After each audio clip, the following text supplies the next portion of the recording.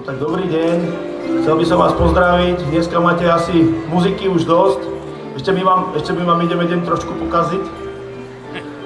Vraví sa, že najlepšie nakoniec, tak hádam to tak ostane.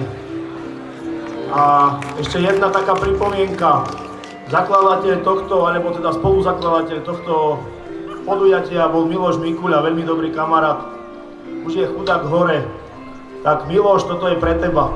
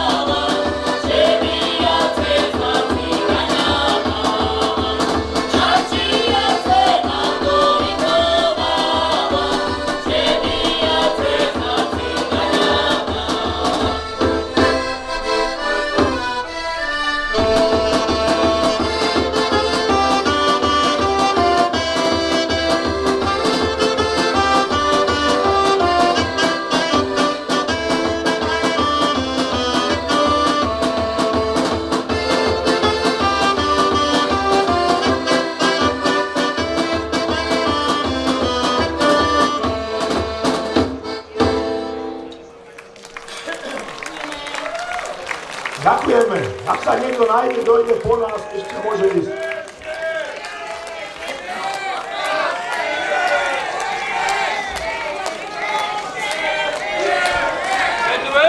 Čože?